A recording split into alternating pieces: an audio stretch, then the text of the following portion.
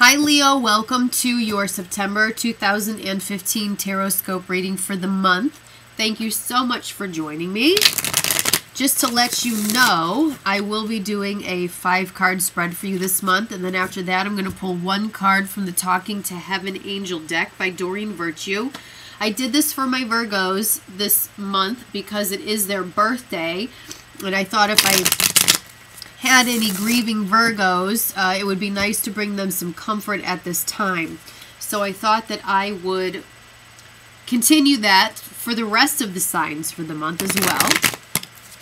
Okay, so let's get right onto your reading. Spirit, what messages do you have for the Leos of the Zodiac for the month of September 2015?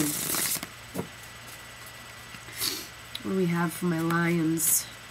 Lion, hear me roar.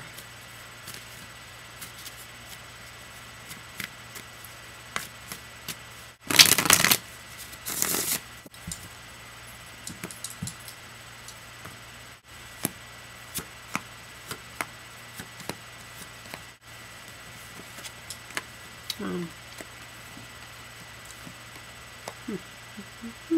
Okay, Leo, the first card we have for you for the month of September is the Nine of Cups upright. Your desires are fulfilled, have been fulfilled, or will be fulfilled. Lovely card. This is all about enjoyment, being content, feeling content, pure pleasure, gratification, creature comforts, a job well done. This could be an up in status and at work, social status or financial status.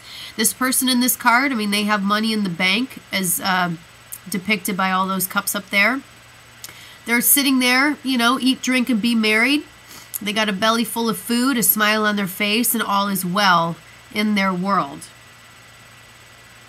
Physical pleasures, satisfaction, material happiness.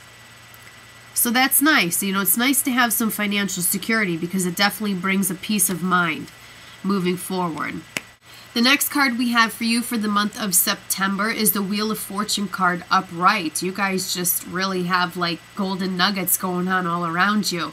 This is a change for the better. This is some situation in your life that really turned around or took off and went in a good direction. This is good luck, advancement, new opportunities. Uh, the world is your oyster.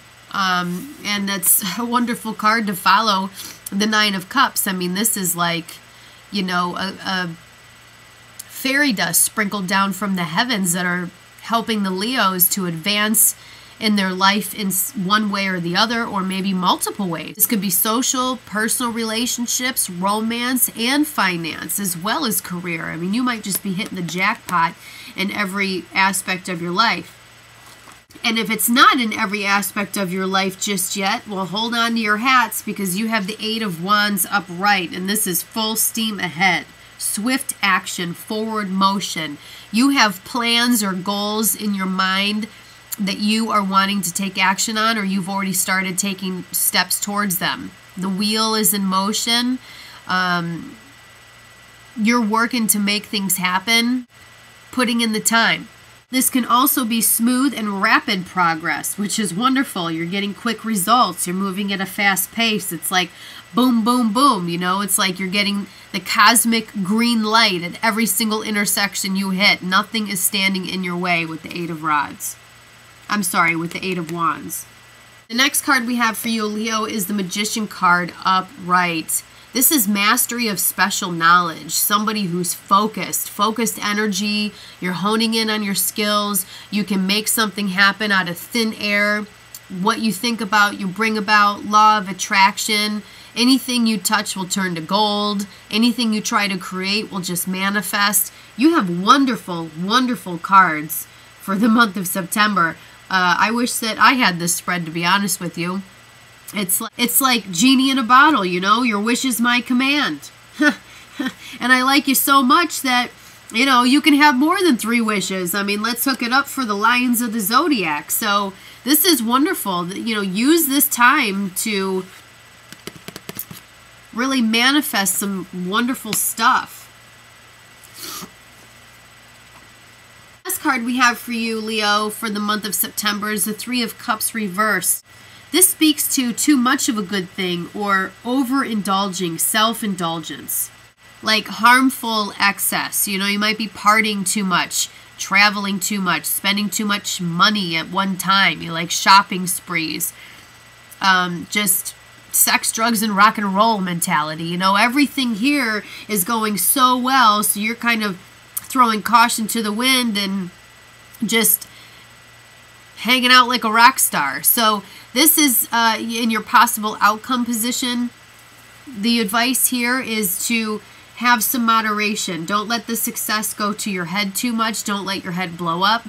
Don't let your ego go. Don't turn into, you know, somebody who's greedy, materialistic, arrogant, treating other people like they're beneath you. If you're overindulging, it will catch up to you. Too much partying, too much sex, too much drugs, too much rock and roll too much reckless spending, reckless driving, reckless decisions, you know, just not taking care of yourself or taking care of the relationships around you, disregarding other people in your decision making, being totally selfish. I mean, that's all part of it. So, the advice again here is to, you know, indulge yourself. Enjoy your the fruits of your labor. Enjoy your success. But be responsible about it. Be mature. Be an adult um, if you know if you overindulge a little bit, that's fine. You know we all need to do that, but know what your boundaries are and and and pull yourself back from from making poor decisions or overindulging to the point where poor decisions are made and it just really ultimately speaks to your demise or it ruins all of the success that has come in over here. You know, it's like that old saying about when people are on top, they can only ride high for so long before they come crashing down.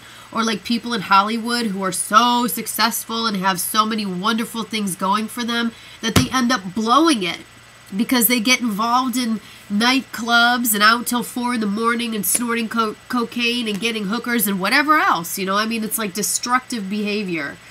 So this is just saying keep your head out of the clouds and um and you know just be cool. Don't be all uncool for for my Leos out there who watch um, the Real Housewives of New York City when Luann said that. That's just what popped in my head, okay?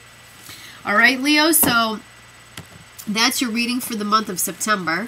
Please let me know if this resonated with you. I'd love to know your current circumstance. And I'm going to pull one card from the Talking to Heaven Angel deck if I have any Leos out there who are missing somebody at this time.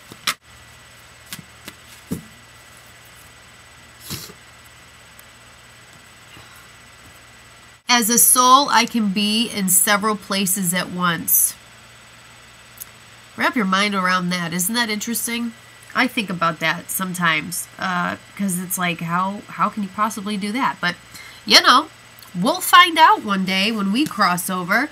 I'm going to read to you the, the description that came with Doreen Virtue's. Uh, comes she always in, she includes a little book, you know, with her cards to give you some extra insight. I'm going to read that for you. Without the human body, I am free and I have amazing new abilities. I can travel to any place in almost any dimension with just a thought. It's like living in one of those flying dreams that you and I discussed. So I can be with you as often as you need me, and it won't hold back my spiritual growth. If you miss my presence, just say the word and I'm there by your side instantly. Although I'm not technically an angel because I still have my human ego to deal with and learn about, I am like an angel to you. I will do my best to protect you always, and you can count upon my continuing love. So there you have it. Your loved one is hanging out with this unicorn. And how cool would that be? So, Leo, there is your reading for the month of September. Again, I hope it resonated with you. Please feel free to leave comments and questions in the comment section below. Like, subscribe, and share. I would appreciate it.